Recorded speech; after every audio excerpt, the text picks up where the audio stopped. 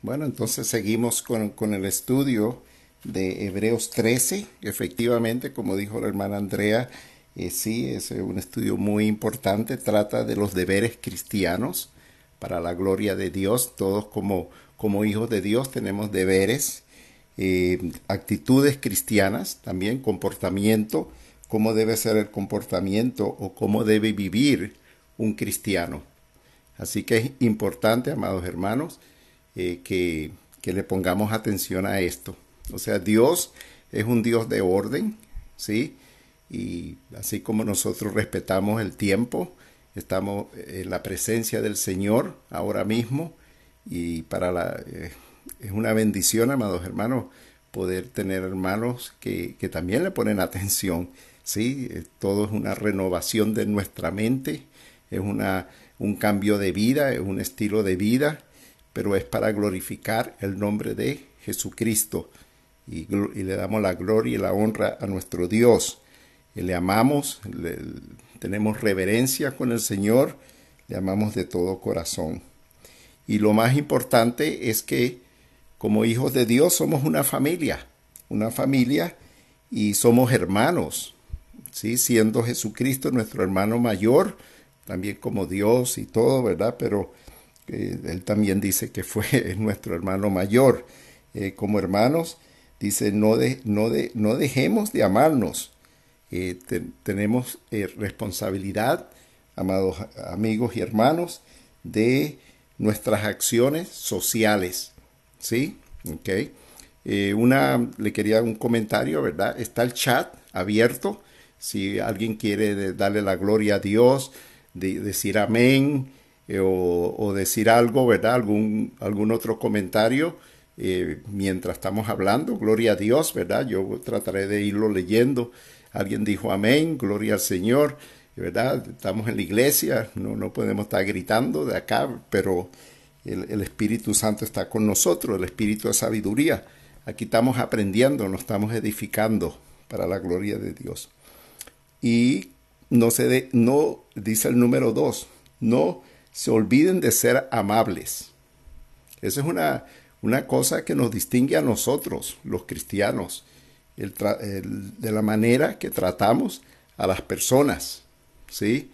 Se nota, se nota quién es cristiano y también la hospitalidad.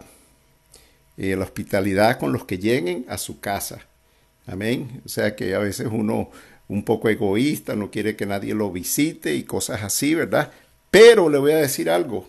A lo mejor ahora sí tenemos una buena excusa, ¿verdad? Para que nadie nos visite pero no es una excusa, amados hermanos, porque es un problema, un problema grave que tenemos ahora con compartir. Compartir, mire, estamos aquí en, la, en las redes ahora, pero de, veras, está, está tremendo las cosas ahora que, que uno no puede realmente dejar entrar a nadie en la casa por la cuestión de, esta, de este virus.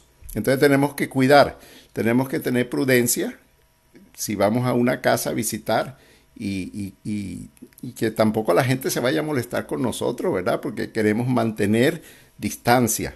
Estaba mirando, ¿verdad? En las casas ahora, eh, en las casas eh, modernas, a través del virus, la, las casas que son mansiones tienen, tienen uno, unos, han puesto unas mesas súper grandes, súper grandes, de 12 por 12 o sea, ya no son un dining room que tú te sientas al lado del otro, no. Ahora tú te sientas bien lejos, ¿sí?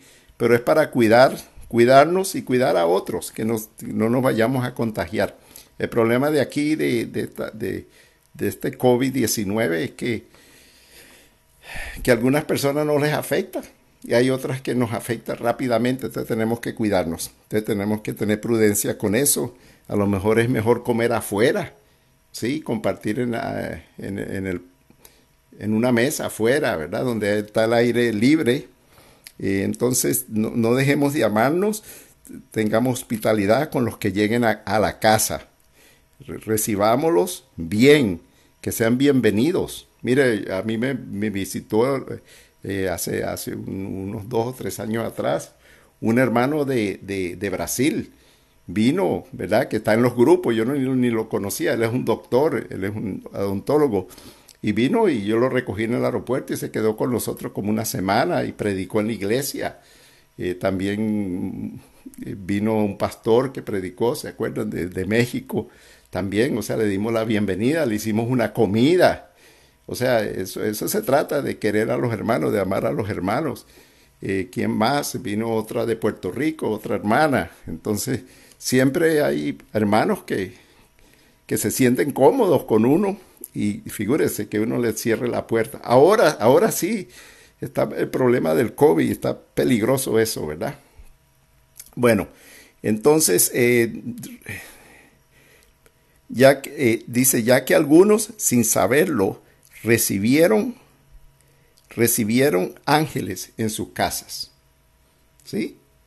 Es verdad, miren, Génesis, Génesis 18.1, en la traducción del lenguaje actual dice, esta es la historia del día en que Dios se le apareció a Abraham. El ángel del Señor se aparecía a las personas. Figúrese que uno rechace, que, se, que Dios se le aparezca a uno y uno lo rechace cerca de un bosque, eh, eh, del bosque, el bosque de Manré. Hacía calor y Abraham estaba sentado en la entrada de su tienda de campaña. ¿sí? También dice que el amor fraternal, el amor fraternal en Romanos 12:10, ámense unos a otros como hermanos y respétense siempre. O sea, esa es otra cosa, ¿verdad? Nosotros cuando estábamos en el mundo a lo mejor no, nadie nos respetaba y nosotros no respetábamos a nadie, pero ahora tenemos otra manera de ver las cosas porque sentimos algo diferente, ¿verdad? Tenemos ese espíritu que antes no teníamos, el Espíritu Santo. Número 3 dice, acuérdense de los presos, como que si ustedes también tuviesen preso con ellos. Hermano, yo nunca he estado preso, pero me recuerdo que un hermano, una vez, un hermano de España que nos visitaba en la iglesia, nos enteramos de que estaba preso y enseguida nosotros nos fuimos. Nos fuimos para allá y estuvimos buscándolo y averiguamos dónde estaba y llegamos, ya había salido, gloria a Dios, ¿verdad? Pero el hermano supuestamente, no sé, lo acusaron de algo que él no había hecho de robarse un sándwich de, de Publix, figúrese. Y él dice que él lo puso abajo y salió y no se dio cuenta. a veces uno comete errores, hermano. Y, y, y, a, él, él, lo acusaron de robarse un sándwich y, y, por eso lo, lo arrestaron. Bueno. Eh, pero bueno, ese día nosotros fuimos allá corriendo Ahora tengo entendido que la hermana, la hermana Isabel, la hermana Isabel, ¿verdad? Que estaba con nosotros también, ella está yendo a las cárceles a predicarle a los presos. Qué bueno, porque la hermana Isabel es, es una tremenda evangelista. Gloria a Dios y hay que orar por ella, ¿verdad? Para que, dice también, de los que son maltratados como si fueran ustedes eh, como si fueran ustedes mismos los que sufren. Piensen cómo se sentirían si fuesen las víctimas ustedes. Piensen, si ustedes fueran, hermanos, vamos a poner que alguien de nosotros nos acuse. Mire, ahorita están agarrando un montón de gente y van a ir 20 años presos por lo que pasó en Washington, ¿sí? 20 años parece que le van a meter a los que... algunos de ellos son cristianos, supuestamente. Ellos, ellos aman la verdad ¿sí? Algunos, no, no todos. Lo que pasa es que, que hay un montón de grupos de gente cristiana que están con, con, con este presidente que tenemos ahora, pero y dicen que, que, los otros son los que son los mentirosos, ¿verdad? Pero van a, va a haber mucho, mucha gente perseguida. Después, si quiere, yo, eh, son grupos de, eh, de gente americana, pero son cristianos. Después a lo mejor yo se los puedo mandar. Bueno, no sé si ustedes se recuerdan que el apóstol Pablo estuvo preso en Colosenses 4:18 y, y él escribe de la cárcel, dice, yo mismo con mi propia mano les escribo esto. Recuerden que estoy preso. Deseo de todo corazón que Dios los llene de su amor. ¿Y qué estaba haciendo el apóstol Pablo?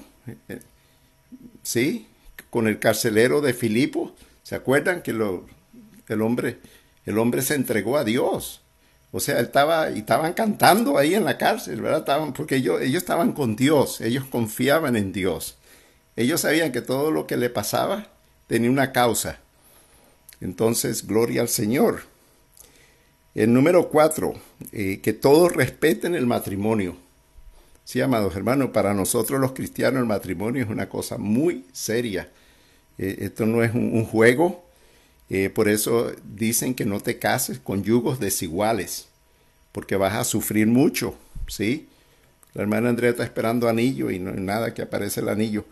Mantengan la pureza. bueno, pero en cualquier momento aparece un anillo por ahí. Vamos a ver si nosotros los hermanos vamos a probar de eso, ¿verdad?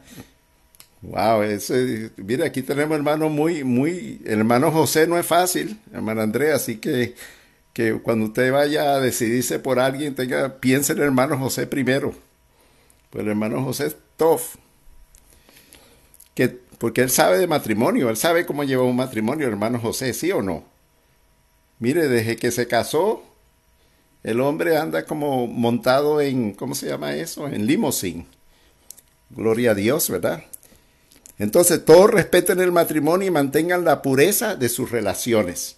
Sí, amados hermanos, eh, qué importante es eso, ¿verdad? Que uno se acueste tranquilo y uno sabe que, que uno no pecó ni con la mente, ¿no?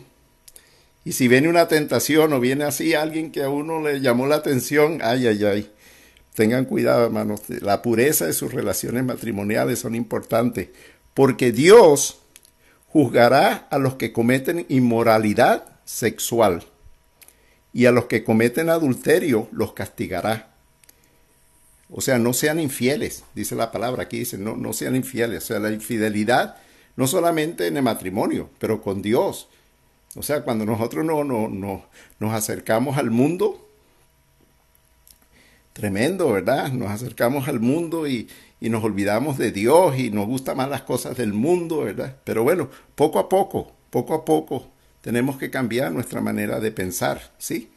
Y el Señor está con nosotros siempre. No vivan preocupados por tener más dinero. Estén contentos con lo que tienen. Eso es importantísimo. Eh, porque Dios ha dicho en la Biblia, nunca te dejaré desamparado. O sea, si usted se preocupa porque necesita dinero, que usted necesita dinero para esto, entonces usted no está confiando mucho en Dios, ¿sí? Usted está confiando en sus propias fuerzas. Eh, y aquí se trata de que es una entrega total al Señor. Y, y Él es el que maneja nuestras vidas. Él va a proveer todo. Nosotros lo que tenemos que andar es en la voluntad del Señor y en obediencia. Y eso es todo. Y estudiando la palabra. Puesto los ojos en Jesús. Así es, siempre. Pensando en las cosas del Señor. Y eso no nos hace pensar en otras cosas porque otras cosas nos apartan del Señor. Y ahí empieza la infidelidad. Por ejemplo, usted tiene un matrimonio y empieza a fijarse en otra persona, ¿qué pasa? Llega un momento que usted se va con otra persona y, deja a su esposa o deja a su esposo. ¿Y por qué? Por, un, por una bobería, ¿verdad? Porque el diablo quiere llevárselo y usted le da lugar al diablo y se deja ir por ahí. Cuando acuerde que está metido en tremendo lío. Por eso dice el número 6, podemos repetir con toda confianza lo que dice la Biblia. Dios es mi ayudador. No tengo miedo. Nadie puede hacerme daño porque Dios está conmigo. Dios me ayuda en todo. ¿Sí? Hermano, Dios nunca nos va a, nunca nos va, nos va a abandonar. Nosotros somos los que nos... Él siempre está ahí. nosotros somos los que nos alejamos. No temeré, dice el Salmo 118, 6, creo que lo mencionó la hermana Andrea, no temeré lo que me pueda hacer el hombre. Dios está conmigo, no temeré. ¿Sí? Ahora lo que eh, en Primera de Corintios dice, Primera de Corintios 6, 9 en adelante, en la TLA dice, no se dejen engañar. ¿Sí? No, a veces somos como unas ovejitas que nos dejemos engañar fácilmente, ¿verdad? Nos vamos a donde con... No se dejen engañar. Ustedes bien saben que lo que hacen, lo malo. ¿Quiénes son los que hacen lo malo? Los injustos. No participarán en el reino de Dios. Ni los fornicarios. Los fornicarios son los que tienen relaciones sexuales prohibidas. Antes nosotros a lo mejor para nadie quería compromiso de matrimonio y decía, mira, unión libre, como dijo la hermana Andrea, y, y yo no quiero compromiso y vamos a conocernos primero y ese poco de cuento, ¿verdad? Cuentos del diablo, ¿no? Pero esas son eh, relaciones que el Señor Jesucristo Dios no aprueba, ¿sí? No lo aprueba. Entonces, si no lo aprueba hay que eliminarla, sacarla del camino. Eh, los idólatras, los que, los que adoran ídolos también, ¿sí? O sea, tengan cuidado de no tener un ídolo. El dinero es un ídolo, eh, su, esposo es un ídolo, su esposa es un ídolo, su perrito es un ídolo, ¿sí? Entonces, eh, un yeso es un ídolo. O sea, todas hay muchas cosas que pueden ser ídolos. ¿Cuál, El trabajo es un ídolo. Entonces, muchas cosas, y bueno, yo le estoy dando más importancia a las cosas de, a, las cosas de este mundo que a Dios. Entonces ahí ya se me, me he hecho un ídolo y dice que nosotros debemos amar a Dios sobre todas las cosas, primeramente, y después amar a, nuestro prójimo. Entonces, cuidado con los ídolos. No dejemos que los ídolos no, nos hagan ser infieles. Entonces, esos, son los idólatras. Los adúlteros, bueno, los adúlteros son los que están casados, los que son infieles en el matrimonio, pero también le podemos ser infiel a Dios podemos ser adúlteros en la fe, ¿sí? Queremos estar en los dos, en los dos mundos. Mire, hermano, hay que decidirse. No podemos caminar en, la, misma, en dos aguas al mismo tiempo. Un pie, un pie en Costa Rica y otro pie allá en, Nicaragua. Mi papá decía que él, él cruzaba la frontera de, con un paso. Y es verdad, con un paso. O sea, tú podías pararte entre Costa Rica y, Nicaragua. Pero bueno, aquí estamos hablando de, de, de este sistema, de este mundo que nos quiere gobernar, que, no, que, que nos cuesta dejar.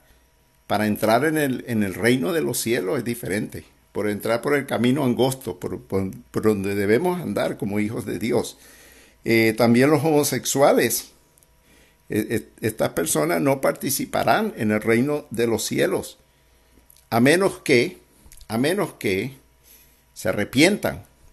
arrepentirse es convertirse. O sea, mire, amados hermanos, eh, convertirse a veces cuesta mucho, porque el orgullo no nos deja. E, estas personas tenían un orgullo, ellos no querían dejar a Abraham, ellos no querían dejar la ley, ¿sí? y, así eh, los judíos. Por eso esta carta a los hebreos.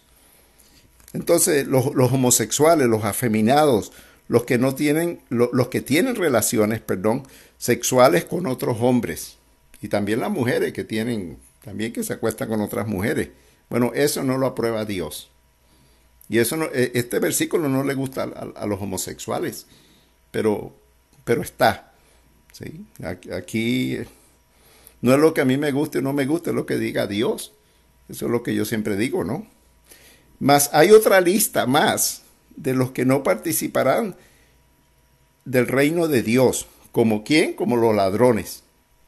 ¿Sí? Si usted tiene, tiene esa maña de, de cogerse cosas, ¿verdad? En las tiendas o, cosas así, en los trabajos, o, quitarle las cosas a, a, su familia, no sé, a robar y eso, eh, eh, es un ladrón.